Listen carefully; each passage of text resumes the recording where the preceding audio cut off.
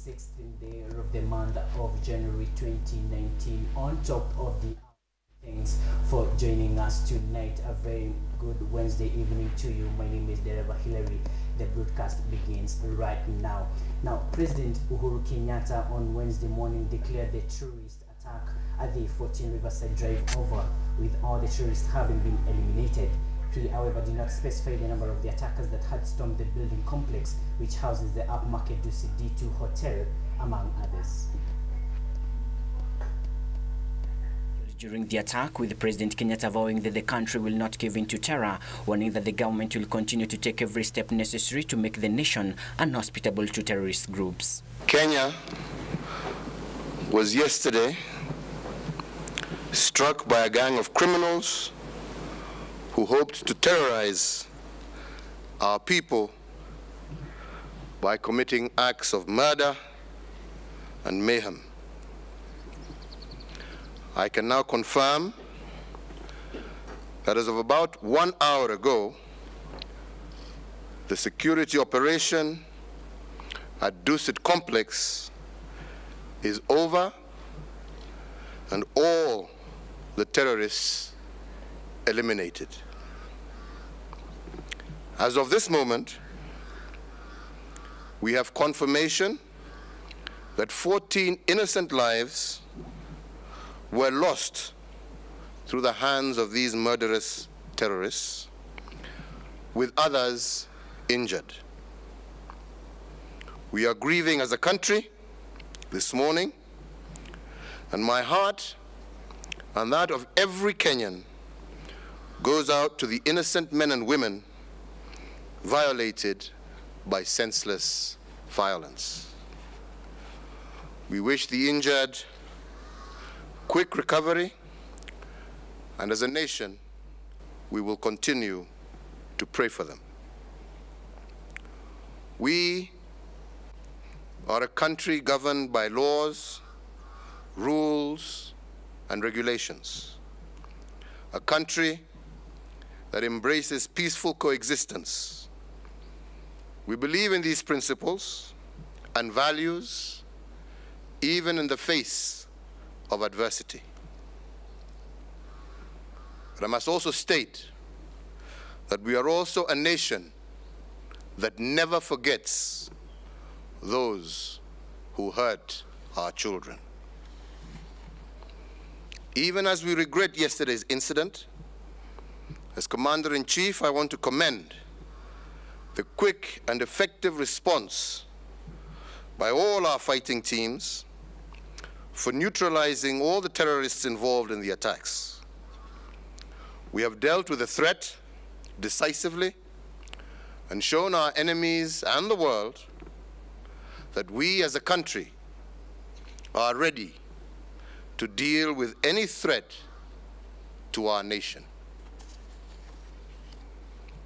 I also take this opportunity to commend the civilians who, who looked after one another for every act of evil that led to injury yesterday, there were dozens of acts of compassion, overflowing patriotism, and individual courage. Over 700 civilians were evacuated to safety from the compound since the start of the attack through the early hours of this morning.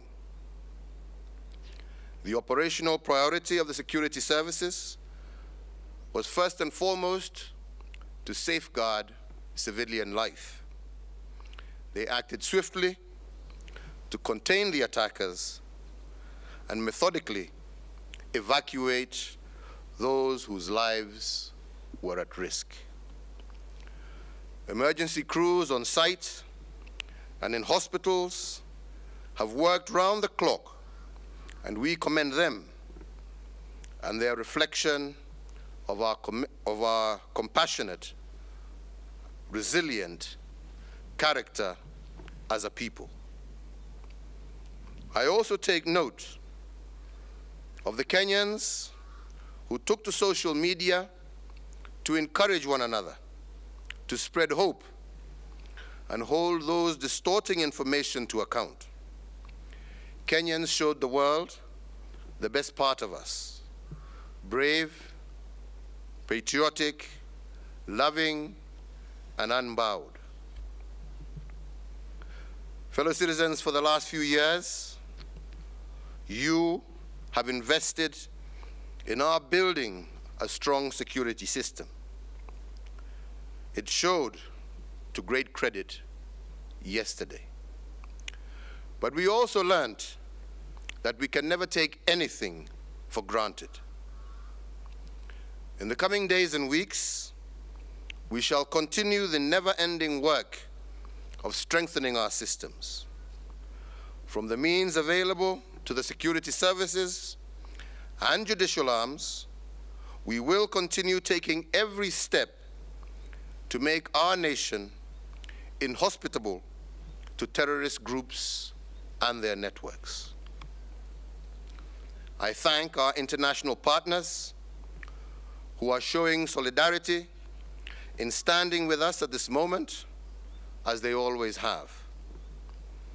Even as we think of our own injuries, we must remember that dozens of countries are also under attack and that we too must show solidarity in standing with them. This morning, I convened and chaired a meeting of our National Security Council, and I want to say this. We will seek out every person that was involved in the funding, planning, and execution of this heinous act. We will pursue relentlessly wherever they will be until they are held to account. Throughout the breadth of Kenya and in our immediate neighborhood, multiple security efforts are underway to detect, deter, disrupt, and defeat any terrorist operatives or groups. We are also on highest alert and shall remain so. I assure every Kenyan and our foreign visitors that you are safe in Kenya. Fellow citizens, we all have a duty in securing our country. Security is a joint responsibility between citizens and their government. We secure our families, communities, and our nation by building a seamless partnership. We should not allow these people any shelter among us.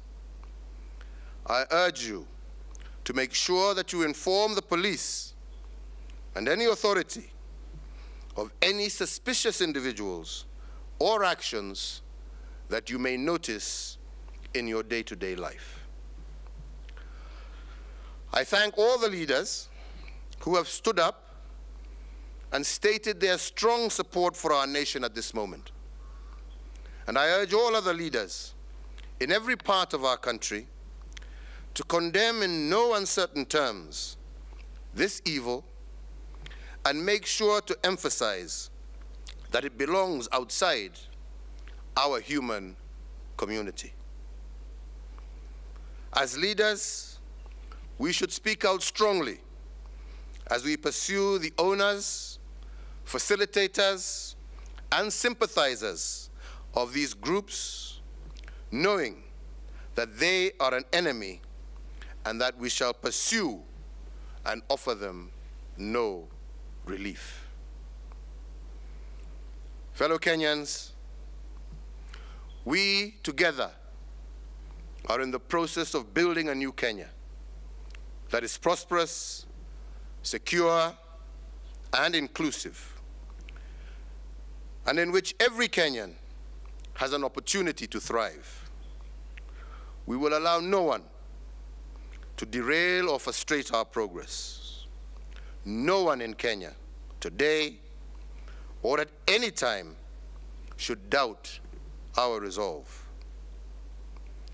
Our resolve to maintain security in our country, and in this, our determination is unswerving. We have, we have prevailed and shall always prevail over evil. Let us now go back to work without fear and continue with our task of building our nation. May God bless you. May God bless Kenya. And may God give peace to those who have lost life and comfort to their families. And Interior Cabinet Secretary Dr. Fred Matiang'i has moved to ensure that the country is safe after the security operation at the 14 Riverside Drive was declared over. Matiang'i, who visited the scene of yesterday's terror attack, however, said the area remains a crime scene, urging members of the public to keep off the area and give security agencies time to complete investigations. Our security teams have done a fantastic job and they have done us proud as a country. It's a very unfortunate situation that we find ourselves in today, but we are so proud. Let me tell you, even in these unfortunate circumstances, I have never been so proud of our security teams. The operation was executed very well.